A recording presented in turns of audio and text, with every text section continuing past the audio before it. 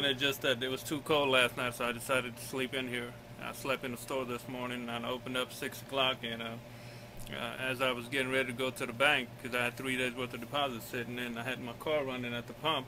Had my car running, and had my deposit sitting, and I had the last customer. I said, "Let me finish him up," because I usually lock the store and go to the bank. You know, it takes a couple minutes because I'm at the Bank of America, and I was getting ready to lock up the store and go to the bank. And I had one other customer. I said, let me finish it up and I'll go to the bank. And this gentleman came in. He was right over there by the drinks. Next thing I know, he just opened up that door and came behind the counter. And he pointed the gun right at me and he said, well, give it up. And I had my shotgun sitting right here. So I said, give nothing up. I picked up my shotgun. He shot at me with the BB gun. Then, you know, as soon as I picked up my shotgun, he came rushing towards me to grab my gun. And then both of us were wrestling here for the gun.